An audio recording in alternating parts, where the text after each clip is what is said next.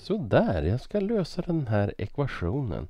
Och jag vill alltså kunna lösa med lösningsformeln, alltså PQ-formeln. Och då vill jag få bort den här delat med trean här i x kvadrat-termen.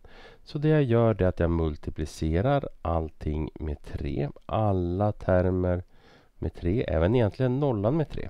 Och då kommer den och den att ta ut varandra så jag får x i kvadrat minus 3 stycken x.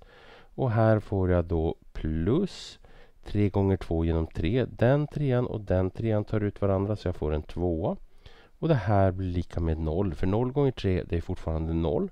Och sen då lösningsformen så x är lika med halva den med ombytt tecken så det blir 3 halva där plus minus kvadratroten ur 3 halva i kvadrat och plus 2 det blir minus 2 där.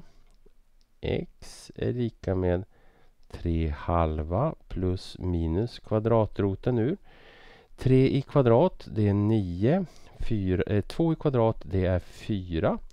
Och sen ska jag dra bort här två hela i fjärdedelar. Det är åtta stycken fjärdedelar. Sådär. Så x är lika med 3 halva plus minus 9 fjärdedelar minus 8 fjärdedelar. Det är en fjärdedel som jag ska ta kvadratroten ur. Så x är lika med 3 halva plus minus Kvadratroten ur 1 som är 1, kvadratroten ur 4 som är 2. Så x1 är lika med 3 halva minus en halv som är 2 halva, det vill säga är lika med 1. Och x2 är lika med 3 halva plus 1 halv. Så det blir 4 halva och det är ju lika med 2. Så svar här x1 är lika med 1. x2 är lika med 2.